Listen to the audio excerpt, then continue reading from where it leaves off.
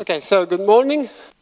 Welcome to the second day of our workshop. And I, uh, I'd just like to say that, to remind you, since it's not on the program, I'd like to make sure that everyone knows that we're having the conference dinner tonight.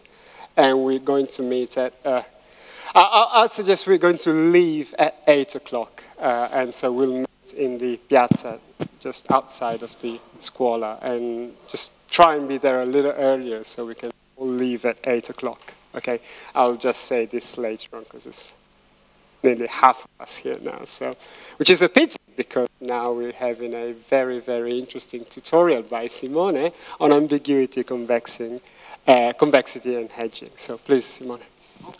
Okay, so uh, also last year, if I remember correctly, I talked about convexity, but I talked about convexity under risk.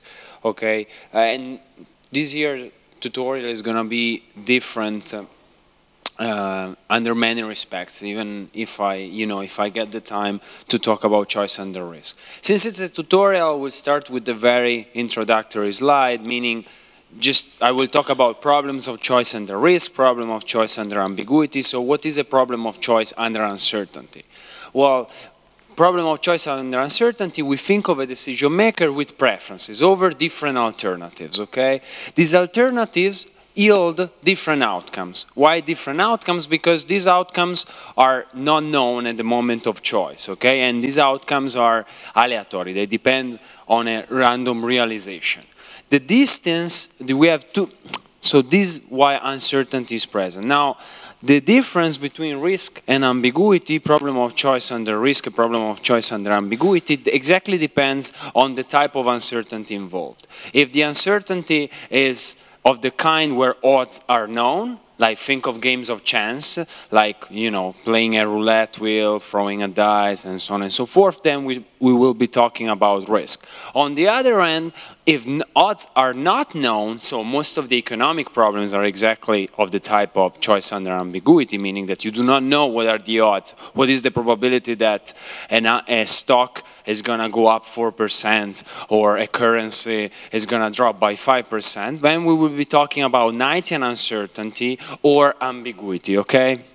Today talk I will mostly confine myself to choice under ambiguity, okay? But just for the sake of simplicity, you know, well, for sake of clarity, let me just give you two situations, two different problems of choice, where the first one is problem of choice under risk, and the second one is problem, a problem of choice under ambiguity. So as first bullet point saying, we will probably not cover this part, choice under risk, but just to be everybody on the same page, for example, consider four lotteries. Those are four alternatives, okay? Notice that you choose, you might choose A versus B or B versus A. When you choose A or B, you do not know, or at least for B, you do not know what is going to be the outcome you're going to receive. This outcome will depend on known probabilities. 0.1%, for example, you will receive, well, here it's still in dollars. Uh, so zero dollars or euros, 0.89 you will receive 1 million, 0.10 you will receive 5 million. So it's a problem of choice under uncertainty, under uncertainty but you know the odds, okay? The odds are, are known to you, they are told to you.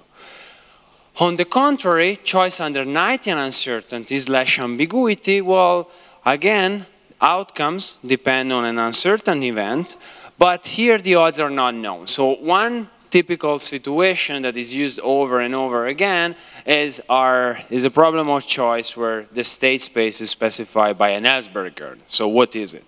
Well, here, again, you have an urn, so with 90 balls. They can be, these balls can either be red, black, or green.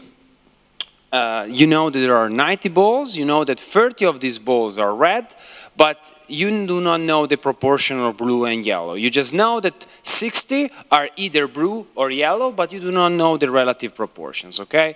So here, alternatives, well, for example, in this example, I gave you four alternatives, four bets. For example, the first one pays you one euro if red is the color of the ball drawn, zero otherwise.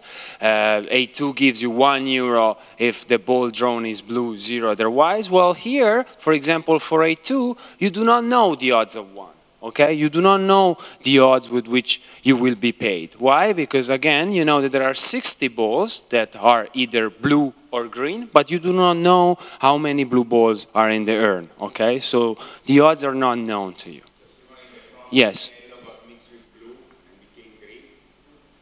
Yes, because uh, in my mind, uh, probably G is giallo, so yellow in Italian, and so that's why, yes, yes, I, I yes, I apologize. So, of course, yes, yellow is isomorphic to G because it's giallo in Italian. No, I, okay, I'll try to stick, but it will, uh, this example will enter in the picture just uh, one more time, and one more time, this is, when I said yellow, I meant G which is green. So I will stick to green from now on. But, uh, so do you want me to go over this slide again, or I bored you enough uh, with, okay. So, what is this, what has been the standard model for many years, and arguably it is even nowadays the model for many applications, you know, model to model the decision maker preferences for a problem of choice under uncertainty, it's, sorry, it's the expected utility model okay? So in the example I discussed before, there were three states of the world, red, blue, and green, okay?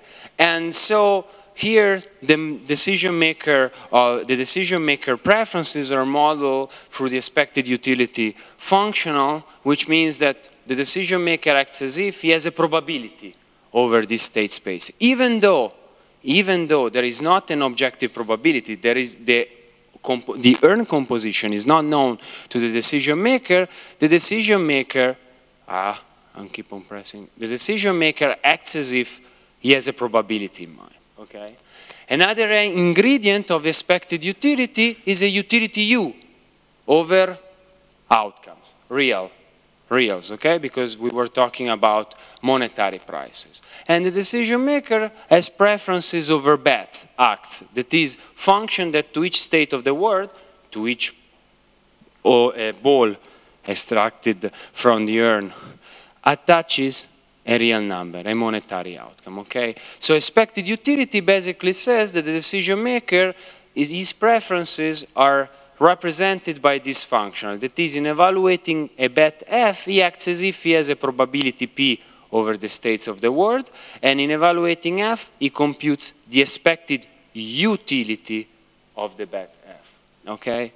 Now, having made this quick introduction, I can tell you what is, the, what is the goal of this talk. The goal of this talk is to say, well, I will argue that First, I will consider preferences that exhibit an inclination for hedging mixing. That is a preference for diversification. And I will argue that even though these preferences might not be expected utility, and in a moment I will argue also why reasonably so, why they may not be expected utility, still I can identify a part of the decision maker preferences where hedging has no bite. And this part of the decision maker preferences are exactly the part of the decision maker where he behaves exactly like an expected utility agent. Okay, so that I can reread his preferences, I can reinterpret his preferences as coming through a decision process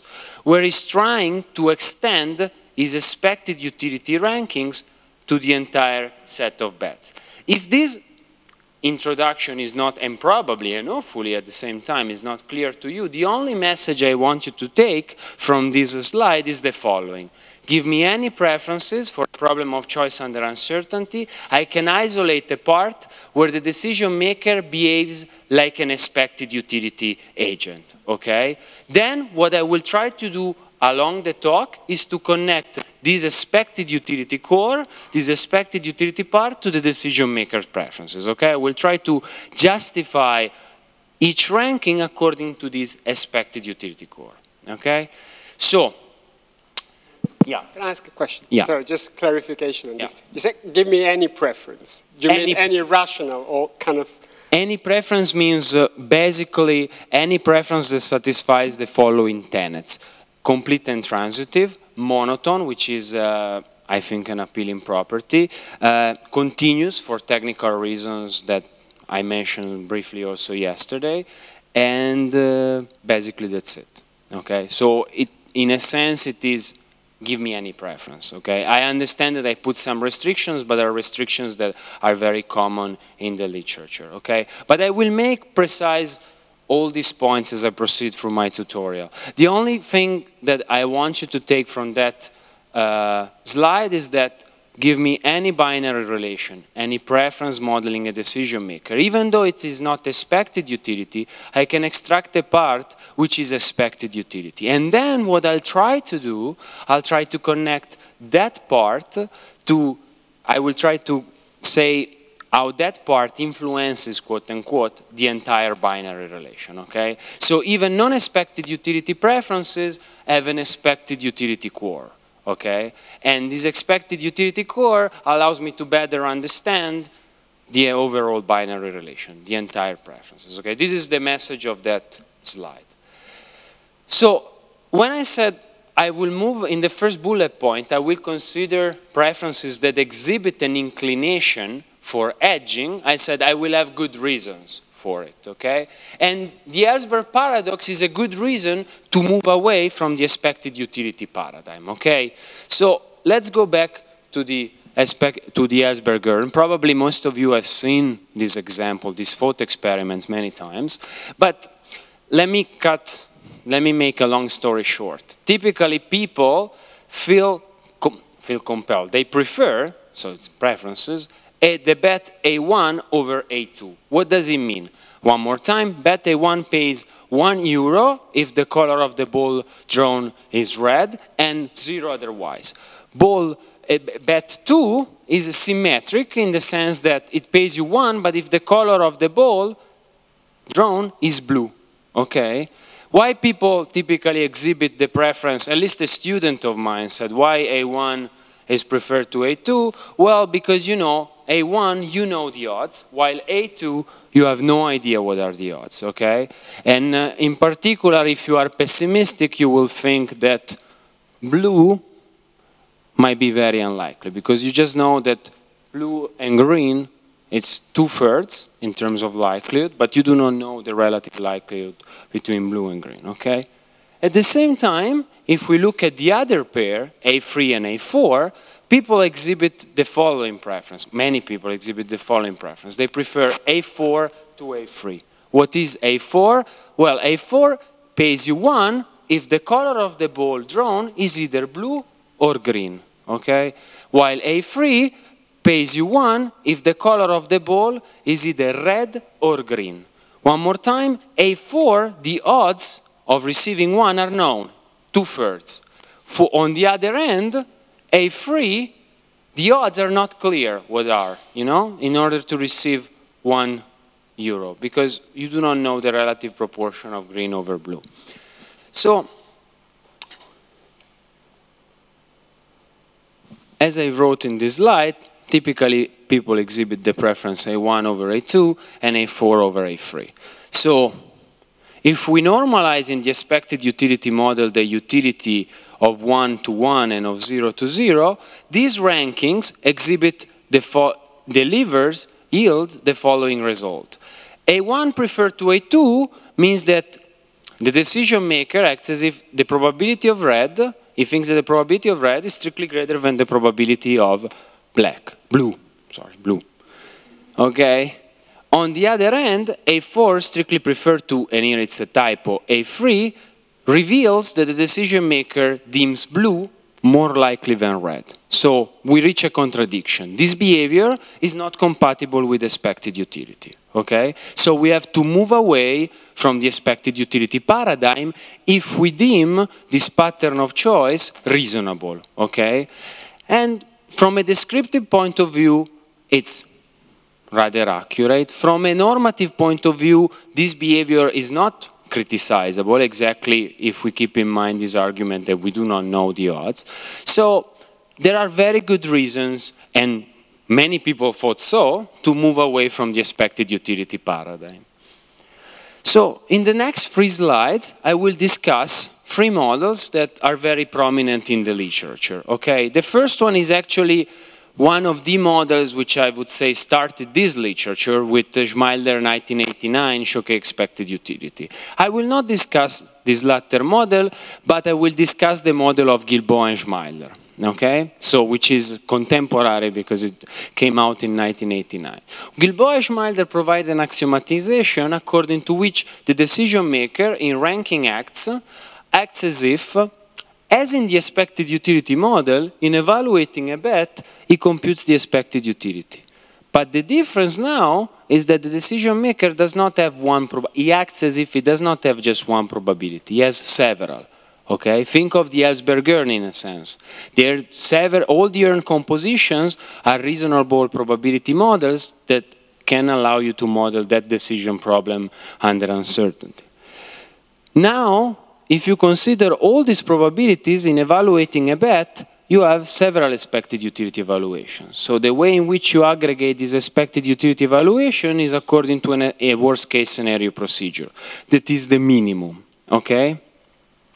Very good. So just the technical, yeah.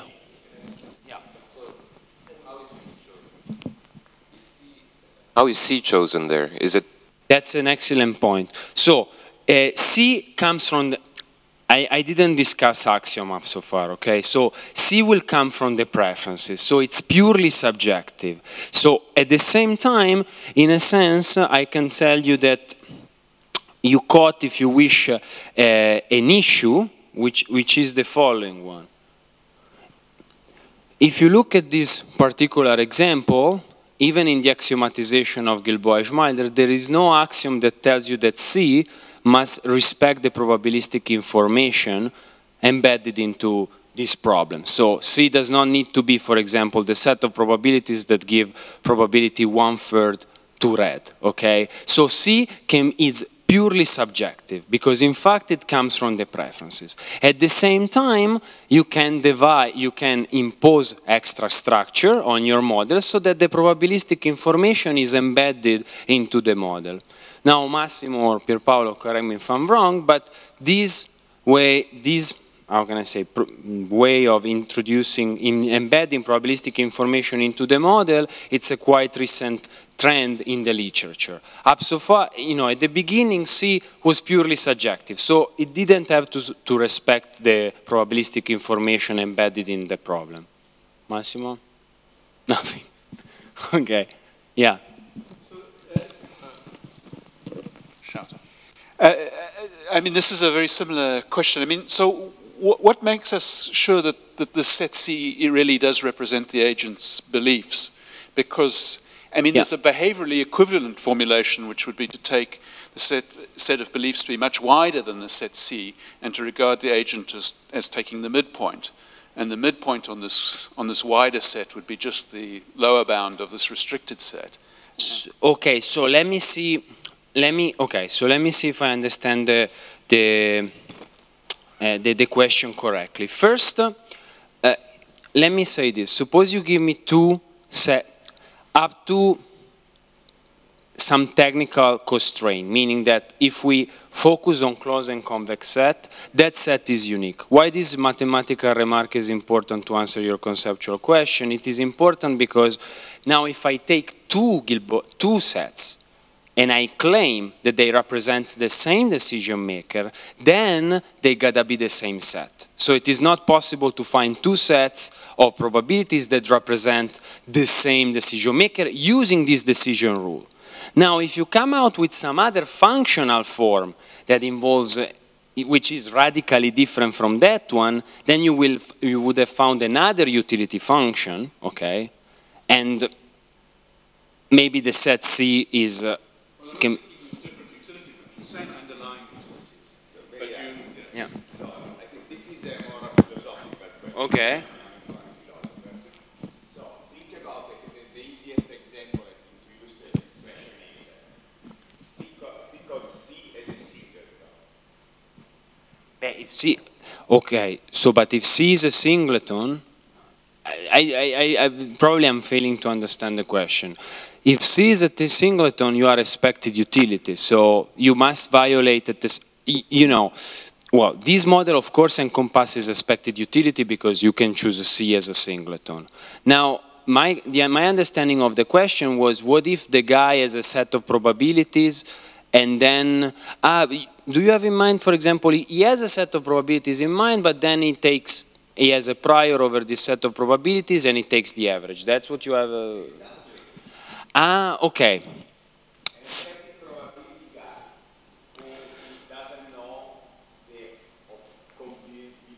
Yeah, and he has a prior over. Okay, so yes, so yes, so well, I have a an answer for that. Now I, am trying to think one short way, one short but precise way to put it. So, what I, what I, when I say the relevant probabilities for the decision maker, in a sense, if we keep in mind this example, are the relevant predictives for the decision maker. So for example, I can, if the guy was expected utility, okay, and he thought, and we had, for example, an IID structure underlying, and he thought that the, the uh, reasonable models were IID, and he put a prior over the IIDs, and he obtains a predictive which is just exchangeable. Well, we would feel compelled to declare relevant probabilities the IID, right? And we will, even though we will just see the exchangeable probability explaining his behavior, okay? And then the set C will just be that singleton.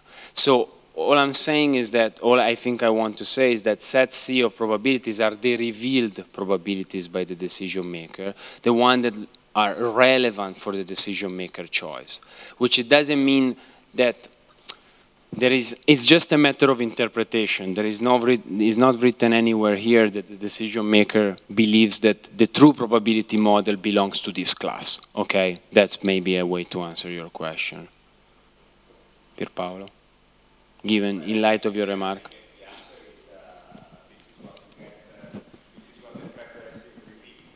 Yes.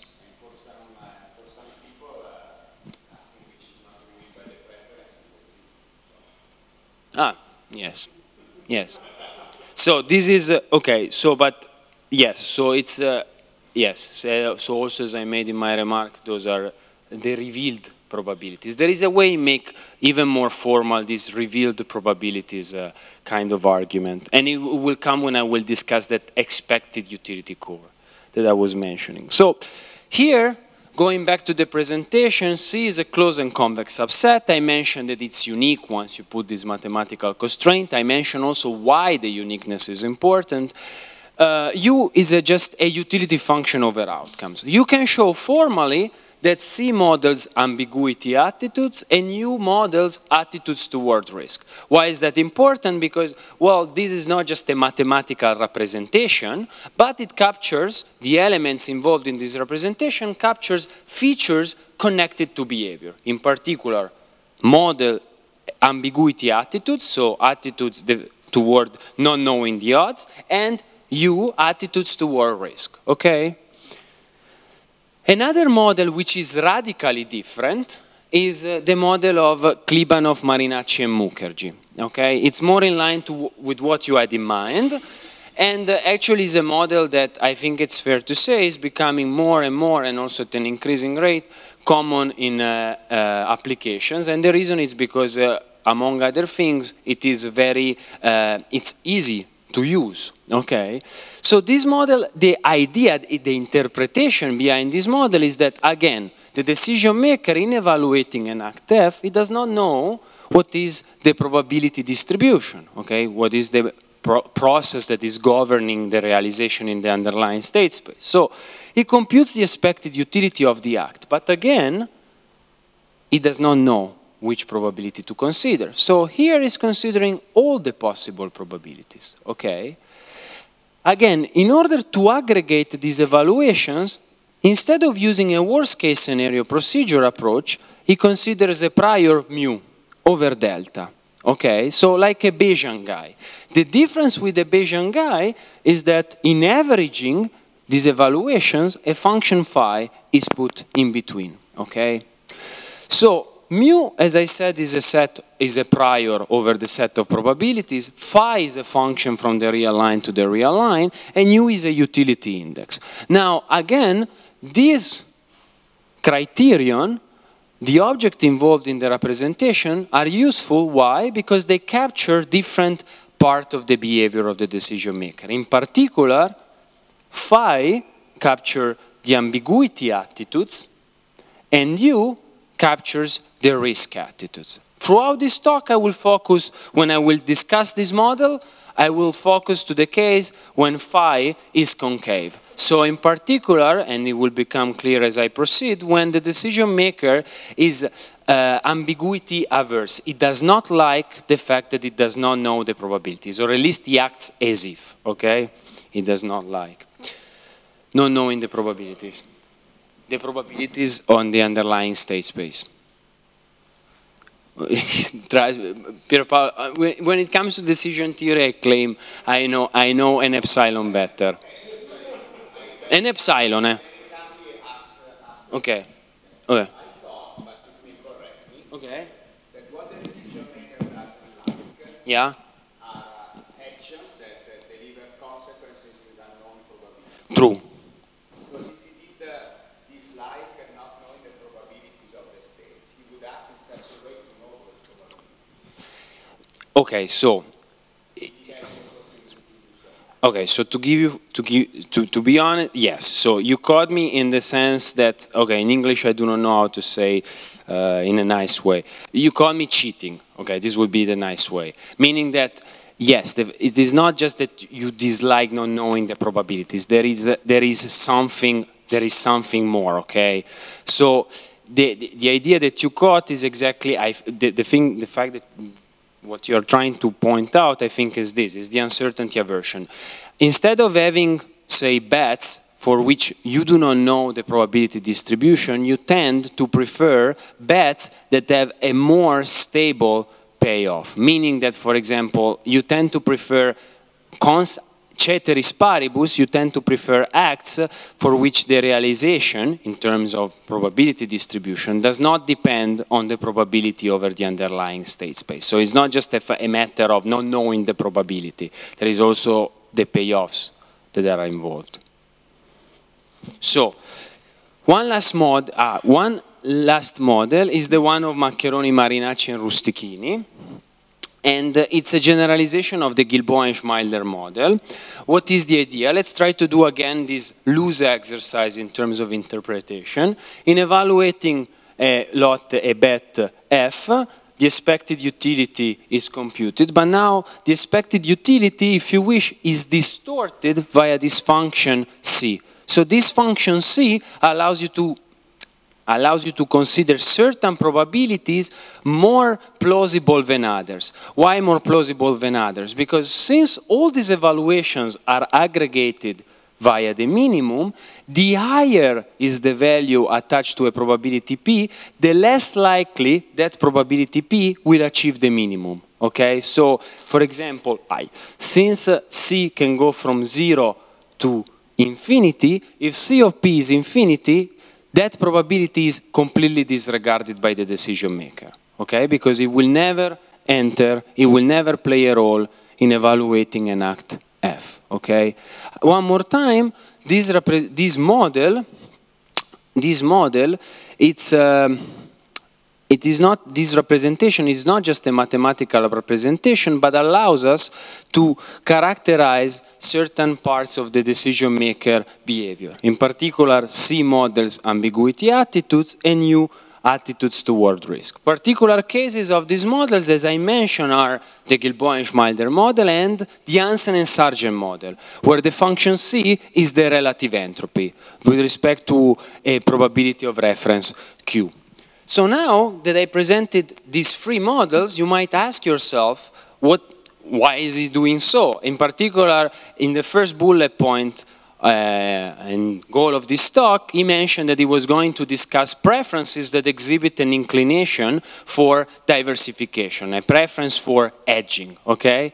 Well, now finally you get your answer. Why? Because all these preferences, even though they share a different structure a priori. If you look, for example, at the Maccheroni, at the Klibanov, Marinacci, and Mukherjee model and the variational preferences model, so the second model and the third one, even though they look radically different from an axiomatic point of view in terms of the properties they satisfy, they share some relevant features.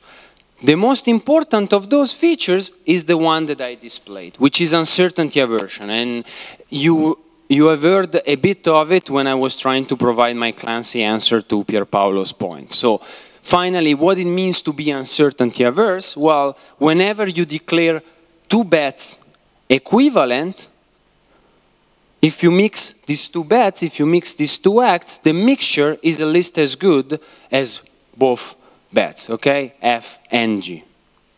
So this is the mathematical way in which you might want to model a preference for diversification, okay? And all the models that I discuss share these features, or at least this one is probably the most important features they share. And this is what I mean when in the beginning of my talk, this is what I meant when in the beginning of my talk, I said I was going to talk about, for, about preference for edging or diversification. So the quotes that I put under the, the property, well, they just uh, basically say in another, in a nicer way, what I just tried to describe. Uh, you know, in a nicer way, they try to describe the action that is displayed in the slide.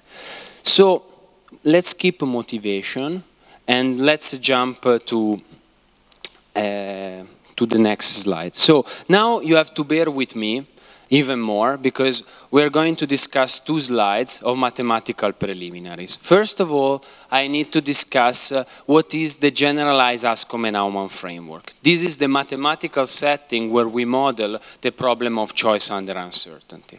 So we've seen already a bit of it when I was discussing the Ellsberg paradox. There is S, the set of states of the world, okay, and S is a non-empty set. Sigma is a sigma algebra of subsets of S. So elements of sigma are interpreted as events. X is a convex set, and X models outcomes. Okay? Particularly in the original Anscombe and Aumann settings, those outcomes are probability distribution themselves. For the sake of this talk, I know that you, Massimo, will not like this, but think of X as the real line, okay? It's a convex set.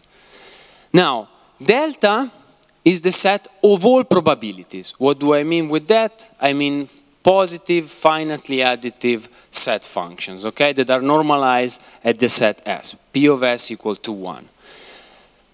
Again, for simplicity, you can also think of S being finite. From a mathematical point of view, makes things easier. From a conceptual point of view, nothing is lost. Now, what is an act? An act is a function that to each state of the world I associates an outcome, okay?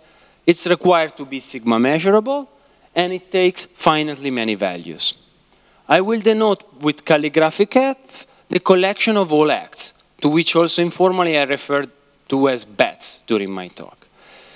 Squiggle, well, squiggle is a binary relation of F and is the way in which we model the decision maker's preferences.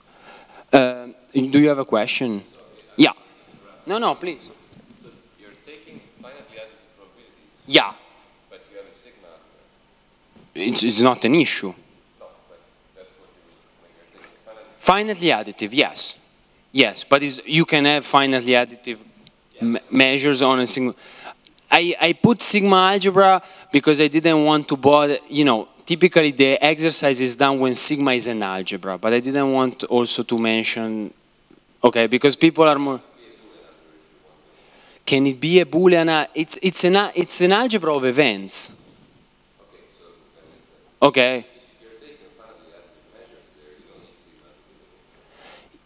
If you, one second. So uh, since it's what I what I mean what I mean is is this are set functions that go from sigma to zero one. Okay, they are positive and they are normalized at S and they are finitely additive. They belong to this set, which is the norm dual of the simple measurable. So I, you can consider these objects even when sigma is an algebra. I, I, just, I, just, I just put sigma sigma algebra for, well, for two reasons. One, the most important one is because some people are more used to hear sigma algebra rather than algebra. I, wouldn't, I, I didn't think that probably here would have been the other way around. So, okay. Um, let me move to the second slide. I will not discuss the last bullet point of that slide. Uh, the, the, second and last slide of mathematical preliminaries, uh, I will have to discuss a class, uh, a, an important class of functions, which is called calligraphic G. I will not mention R Cartesian delta, just calligraphic G. What do you have to do to belong to calligraphic G? First thing, you must be a function that goes from the Cartesian product of the real line with the simplex to the extended real line. And then you must satisfy four properties. The first property says that you are lower semi-continuous and quasi-convex in both arguments. The second property says that you must be weakly increasing in the first argument. The third property is a property of normalization, as simple as that. Whenever I take minimum with respect to the second component, I get T, okay? The fourth property is a property of continuity. So I will ask you to trust me, meaning that it is not a wild and crazy notion, it is not a wild notion of continuity. If you really want to see it, I have an hidden slide for it, but I will not dwell into this if you don't mind, okay? Very good. And an object that will play a role is the essential domain of G restricted to delta. This is a subset of the simplex, and what do you have to, be, to do to belong to this subset?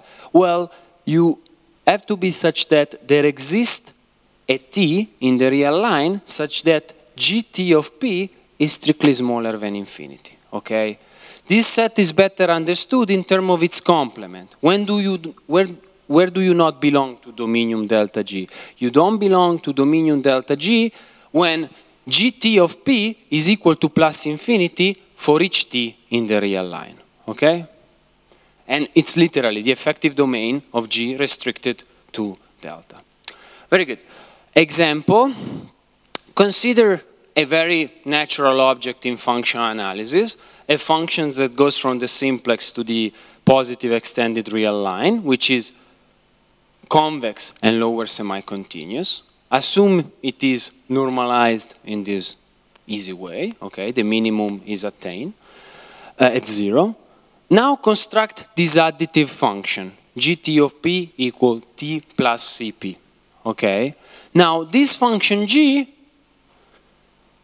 belongs to the class calligraphic g, okay? And more importantly, the effective domain of G restricted to delta is exactly the effective domain of the function C. So the effective domain you are used to see in convex analysis. Very good. These objects will enter in the picture very soon.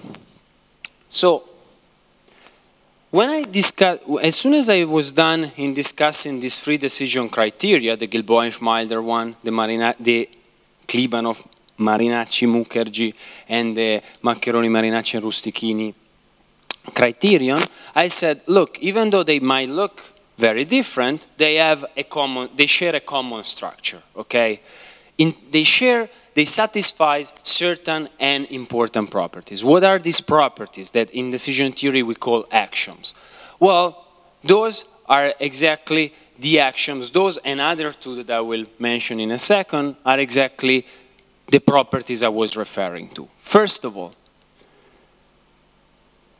a binary relation is called an uncertainty-averse preference binary relation if and only if it satisfies six axioms. First axiom, weak order. The preference is, the binary relation is non-trivial, complete, and a pre-order, meaning that it's non-trivial, it's not everything is not indifferent to everything else. It is complete. You can also, you can always say that F is weakly better than G or G is weakly better than F. And it is transitive, okay? Second property, monotonicity. Consider two acts.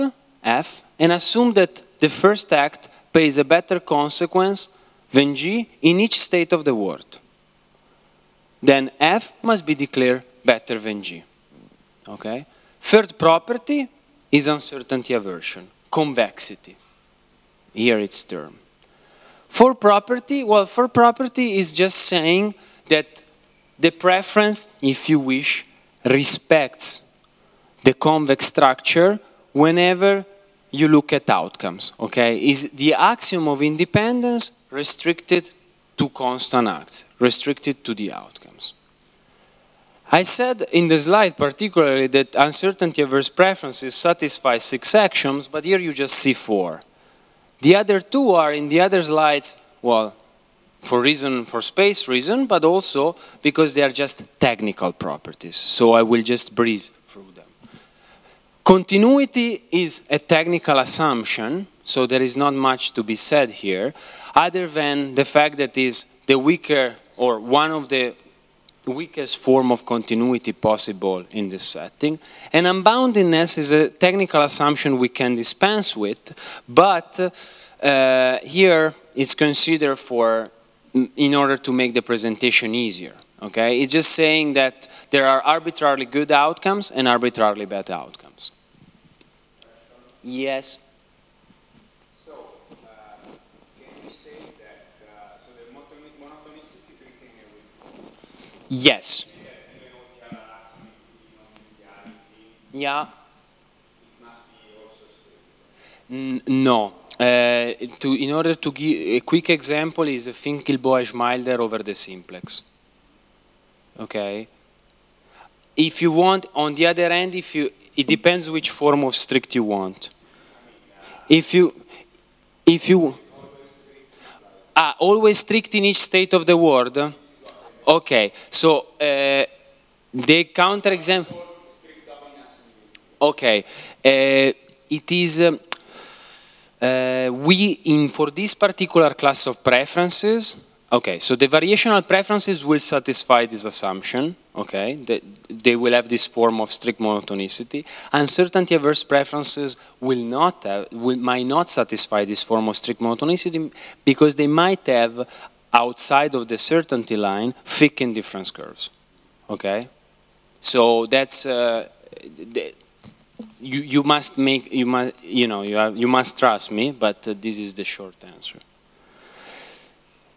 we discussed at the beginning the expected utility model so what are the axioms that characterize the expected utility model well weak order we already seen it what it is monotonicity we just discussed it independence now is required across acts okay and continuity, we discussed it. It's the same form of continuity.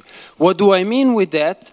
We, what are the axioms that characterize the expected utility model? If a binary relation satisfies these four assumptions, then this binary relation is represented by a utility function of this form. Okay? This is what I mean when I say the four axioms I just discussed characterize the expected utility model. What is the probability? Well, the probability is subjective, so it's revealed by the behavior of the decision maker, by the binary relation, but you can represent the binary relation with the expected utility function. But the goal of this talk was to discuss uncertainty averse preferences, that is, preferences that exhibit an inclination for edging, a preference for diversification. So, This is the representation result for uncertainty averse preferences. I will discuss it formally, then I will start to argue that this is not just a metaphysical mathematical representation, but it can tell us something about the models I discussed at the beginning, okay?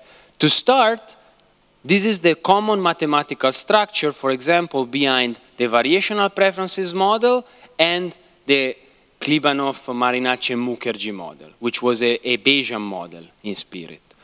So let me discuss this representation result first mathematically, and then I'll start to argue that this representation captures different features of the decision maker behavior. Okay? So this theorem is a classic theorem, not in terms of context, but let's hope in the future, but at least in terms of structure, formal structure, meaning that it is axiom if and only if utility representation, okay? CMMM 11 means that it's a joint work with uh, Massimo Marinacci, uh, Fabio Maccheroni, and Luigi Montrucchio, and see, I, it's me, okay? So axiom if and only if representation. So a binary relation is an uncertainty averse preference if and only if we could say there exists a known to an affine utility index over outcomes and a function g that belongs to the class calligraphic G, such that the decision maker in evaluating an act, he consider the expected utility of the act. But again, he does not know what is the true probability distribution. So he has a family of expected utility evaluations. The function G allows him to distort these expected utility evaluations for each probability P. Remember that G is increasing in the first component. So the expected utility evaluation for P, when you distort it with the function G, is a monotonic distortion. So it does not revert the expected utility ordering. This family of distorted expected utility evaluations is aggregated one more time using a worst case scenario procedure. So Let's do one step back. Look at the variational model. Here the function g is additive, okay? When you move away from the variational model and you just consider the uncertainty averse axioms, basically, you lose the additivity, but you do not lose the underlying structure, if you wish meaning that you have, again, you compute the expected utility of an act, you do it for all the probabilities, and the probabilities, uh, these expected utility evaluations are distorted using the function g. Now, the fact that you have several evaluations forces you, I mean, you need to aggregate them to get a, a numerical evaluation, and this is done according to the minimum, okay? So these results basically tells you that each uncertainty averse preference is characterized by a pair of objects and if you wish a decision rule. The pair of objects is the utility index over outcomes. The second object is the function g, okay? And the decision rule is this minimum, okay?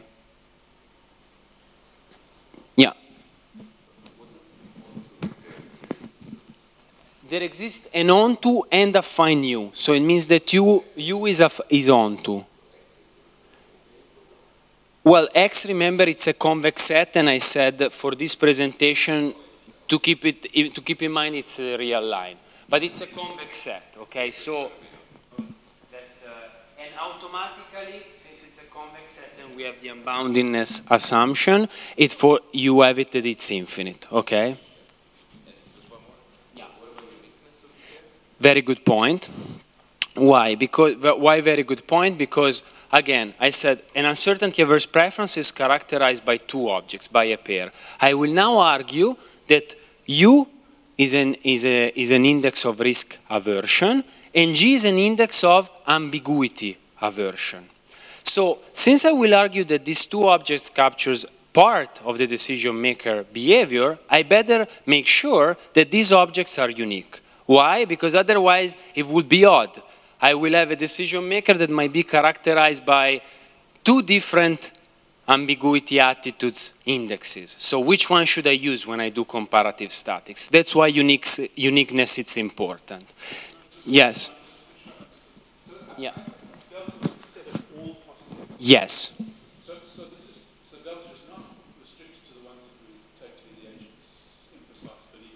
That's, you remember yesterday night we had the talk, and I said that at a certain point during the talk I will exact, precisely refer to you. The second part of the talk will be exactly to, rest, to say, look, you see delta there, but in reality you can restrict that minimum to a smaller set.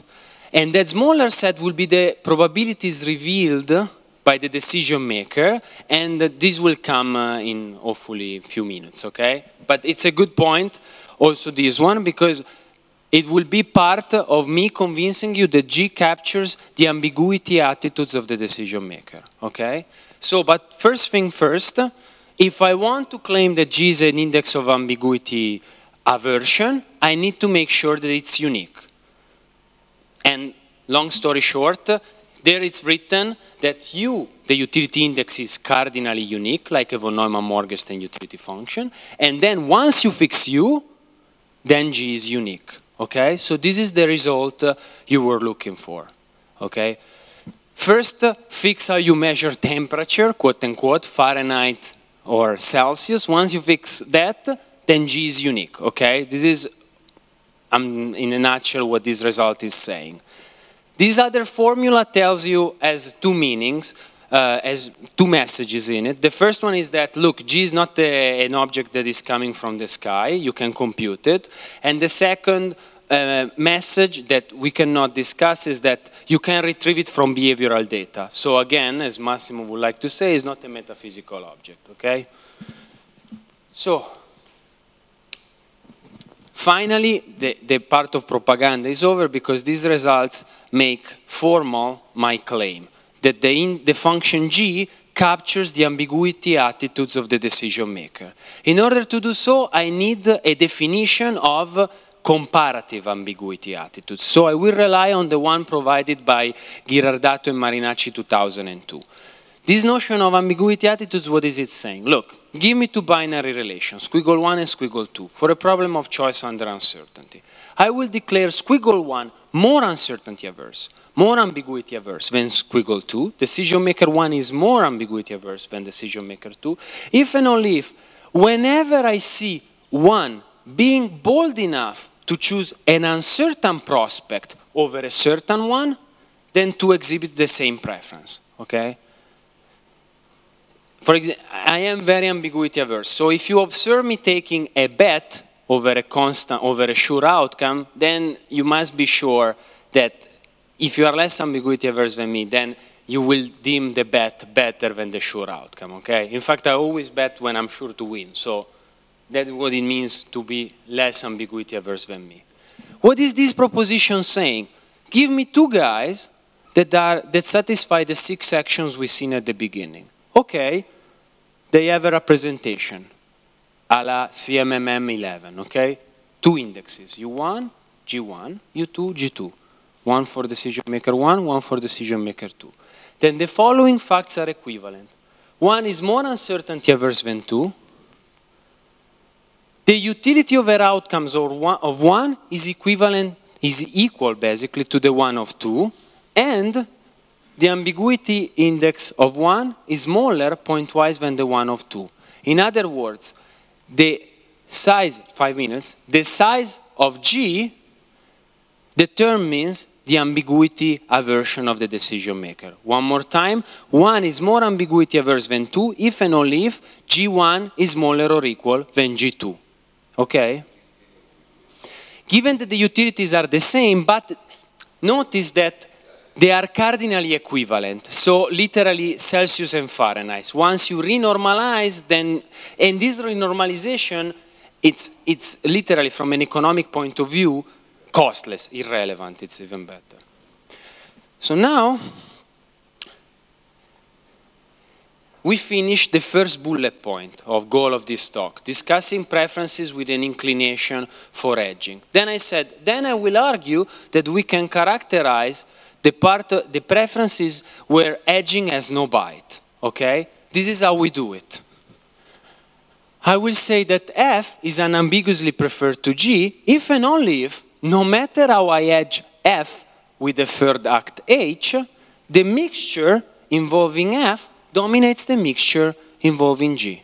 Okay? If I have, if I edge G with the same act and the same mix H with, and the same mixing weight alpha, F is preferred to G. Notice that this unambiguously prefer is derived from the original binary relation, okay? This is the derive object, okay? So here, I'm exactly mathematically doing what I promise. I'm telling you when edging has no bite. In fact, no matter how I edge F with the third act H, the mixture with F is preferred to the mixture with H. And I will denote it by F squiggle star G. Okay? This uh, notion was first introduced by Ghirardato, Maccheroni, and Marinacci in 2004. Finally, the part of the talk, and then I'll conclude uh, to, that I was promising. I'm claiming that this is third bullet point of the introductory slide. I'm claiming that this is the part where the decision maker is expected utility, okay? The first point of this theorem is saying, look, F squiggle star G, so if F is unambiguously preferred to G, then F is preferred to G. So squiggle star is really capturing rankings that are, that are coming from the decision maker preferences. Second part, you don't need to read it. Here is just saying, look, squiggle star satisfies all the assumption of expected utility with the exception of completeness. Okay? Third part, you don't need to read it again, is saying, look, this is not just a part of the decision maker where the, of the decision maker preferences where he acts, where he is expected utility, it is the part. It is the largest subrelation of squiggle where the decision maker satisfies the expected utility assumption. Fourth point is just mathematically saying that squiggle star is expected utility. But notice that here you have a set of probabilities. It's a unanimity representation, okay? And finally, the answer to your point, C star is the effective domain of G. C star, so the set of probabilities characterizing squiggle star is the effective domain of G, meaning that you can restrict the minimum exactly to that set C star, which is the set of revealed probabilities by the decision maker. In fact, consistency check, what is C star for a Gilboa-Schmeidler decision maker? Exactly the set C of probabilities you see from the representation, okay? So I'll conclude.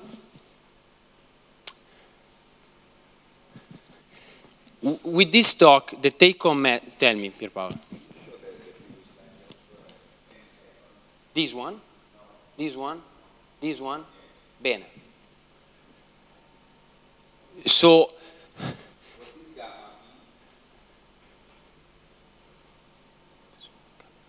this one, uh, in, in, America they say I plead to the fifth. Uh, so, so, no, so uh, without joking, basically it, it, it is rather it's complicated to express, but basically those are all the priors that have as a predictive p, and this is a statistical distance function. Okay, I put it for completeness, so I was right because you had the question, but I, I didn't want to go into details because it's not immediate. It gamma p it's easy to explain actually, but the, the entire explanation is the one that uh, I was. Uh, and C star, since you ask, is the closed convex hull of the support of the prior. Okay. So I must admit that I was not in my best shape this morning. So with this slide, I'll try to give my best. This is the take-home message, okay? So all, the only thing I wanted to convey today was the following. For a problem of choice under uncertainty, we can always identify a part of the decision maker preferences where the decision maker is expected utility, okay? Now, this part where the decision maker is expected utility and edging has no bite is the largest part that is consistent with the expected utility axiom, with one exception, the completeness part, okay? So now we can see, this was the squiggle star binary relation. We can reinterpret the binary relation squiggle as being a completion of squiggle star. So in particular, violation of independence might come, can be reinterpreted through this completion procedure lens, okay? Now, where edging comes into play? Well, edging comes into play because corresponds to a caution completion rule. You aggregate this expected utility evaluation using a minimum, okay? And that's where convexity re-enters in the picture. So all I wanted to say today is to, well, discuss this representation for uncertainty averse preferences that encompasses virtually, I don't know, 80, 90% of the models out there, and to reinterpret this decision rule through this completion procedural lens. Basta. Ah.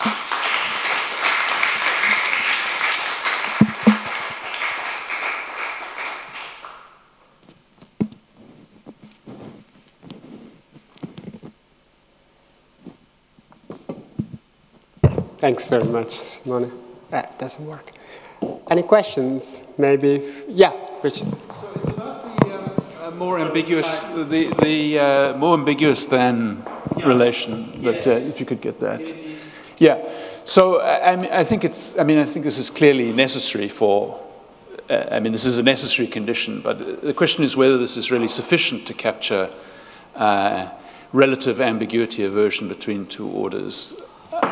So, I mean, the intuitive thought would be maybe there are cases where two ambiguous acts, one is nonetheless sort of dominates in ambiguity than the other. So, it, we, we want to consider slightly more general version of this. But maybe these kind of cases uh, drop out of this definition anyway. I'm not, I'm not sure. Let, let, me see if I, let me try to rephrase your question and see if you're doing the rephrasing and I'll provide the answer. So, I think that uh, I think that, if I understand correctly, here you would like to change what I would call the benchmark. So you're saying, look, maybe I have pair of acts uh, where that I can say clearly that F is less ambiguous than G, and so I want to say that one is less ambiguity averse than two, if and only if I observe F choosing the more ambiguous act over the less ambiguous, then two does the same, okay? So it's a matter of benchmark fixing. Can I interpret your question in that way? So as we've got, we've got a comparison between, uh, between a risk option and an ambiguous option. Yes. I'd like to extend the definition in such a way that we can have a, we can compare two ambiguous options, but one of which is, in some sense, dominates in ambiguity of the other. Hey, so uh, you want to enlarge the set, you know, the set of acts that lies on the right. If and only if. Yes? You are more ambiguity. Ah, so, but, okay, so you would like to have a, a, a different uh, notion of ambiguity aversion that encompasses this one. So, you, so my answer would be in terms of a characterization of this notion, and I think uh, that uh, if you want to talk about more ambiguity averse than one, more ambiguity averse than two, in any, in a generic setting, it's the only way to proceed. The characterization is that if you satisfy this, uh, if, if this is the case, then you can show that it is if and only if the certainty equivalent of 1 is smaller or equal than the certainty equivalent of 2. And actually, this is what driving this characterization result, okay? So, first part of my answer, this is a very kosher way of modeling comparative ambiguity attitudes, provided this characterization, for example, that I gave you. At the same time, I told you, look, my answer was, if you want to use a notion of ambiguity attitudes for a generic setting, it seems to me that uh, a comparison of less ambiguity, an act is less ambiguous than another, is really dep depends particularly on, particularly on the setting at hand. This one, it's clear. It's clear that a constant act is less ambiguous than a potentially variable act, right? So that's why it works in any setting. And since we don't have any extra assumption of the probabilistic structure of uh, S, let's say, it seems to me the, the notion to, uh, to proceed. But I, I, can see how in other setting, richer setting, you might have a different notion of ambiguity attitude, which encompasses this one, okay?